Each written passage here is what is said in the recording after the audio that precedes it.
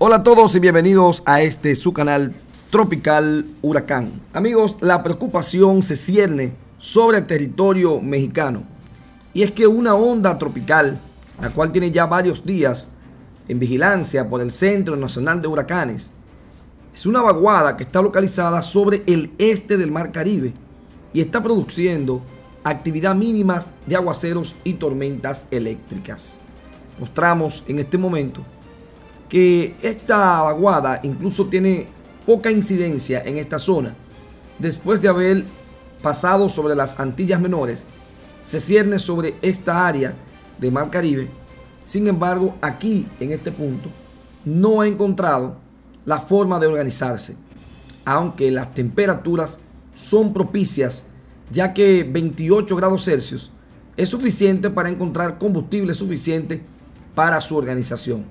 Sin embargo, lo que le espera a esta onda tropical en los próximos días, una vez se acerque un poco más a Centroamérica, es posiblemente un desarrollo gradual y lento y una conversión en un huracán de categoría 1 o categoría 2 que luego cruzará por Yucatán y al volver a las aguas del Golfo, donde tenemos temperaturas bastante cálidas hasta 29 grados Celsius, se convertiría en un huracán que estaría golpeando en esta parte de México frontera con Estados Unidos.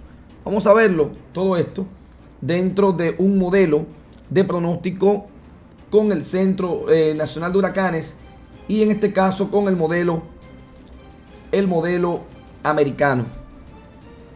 En este instante, este sistema, el cual mostramos, tiene esta ruta tiene un 20% de probabilidades de formación en un lapso de 5 días. Pero a 2 días o 48 horas tiene 0% de probabilidades. Por lo que lo que se espera de este sistema es una formación lenta, la cual estaría para la próxima semana. Y vamos a ver específicamente qué día. Según el modelo americano, para el lunes 29, la onda de la que estamos hablando estaría acercándose un poco más a la zona de Centroamérica, así que alerta Honduras, alerta también eh, las costas de Guatemala y Belice. Aquí para el miércoles 31 estaría ya acercándose y tomando giro ciclónico. Para el viernes 2 estaría golpeando a Yucatán, como una tormenta tropical o depresión tropical, pero el sábado 3, al entrar nuevamente en el Golfo, tomaría fuerzas y ya para el sábado 3 en la madrugada o domingo en la mañana estaría golpeando sin lugar a duda en esta parte del territorio mexicano, teniendo incidencia también en el territorio americano. Nosotros estaremos bastante pendientes de esta formación porque el domingo 4 estaría tocando el ojo en esta parte de México. Vamos a decirle cuáles son los estados y los lugares específicos los cuales estarían siendo afectados. Una vez toque tierra durante todo el domingo y se adentre en territorio mexicano, entonces se va a desvanecer, pero no sin antes dejar bastante lluvia en la parte central de México. Inundaciones repentinas, no tendría posibilidad alguna de cruzar territorio mexicano y volver al Pacífico, pues es una zona bastante amplia y muy montañosa por donde va a entrar y esto va a evitar de que pueda eh, formarse nuevamente.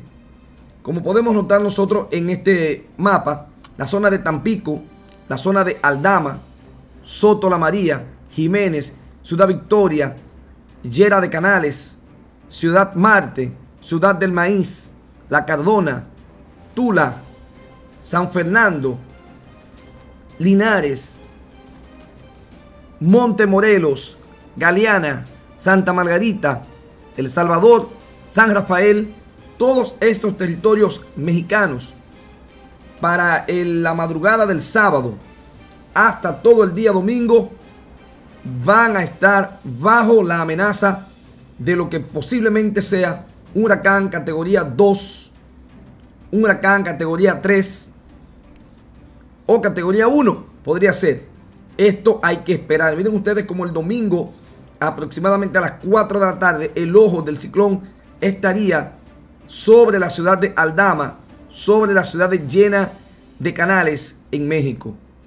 Esta es la perspectiva, también Nuevo Quintero, González, Villa Manuel, eh, Guadalupe Victoria, Cicotecat, eh, Ciudad Mante, toda esta zona van a estar bajo amenaza de huracán. Esto será hasta el día domingo. Ya el lunes, entrando más hacia México, pues la gente de Zacatecas, Venado, Río Grande, Victoria, Durango, van a recibir una depresión tropical que dejará muchas aguas, pues ustedes pueden ver que las bandas nubosas, eh, incluyendo San Luis, Potosí, Aguascalientes, pues van a tener inundaciones repentinas y lluvias incesantes. Nos vemos en el próximo video. Comparten la información. Hasta entonces.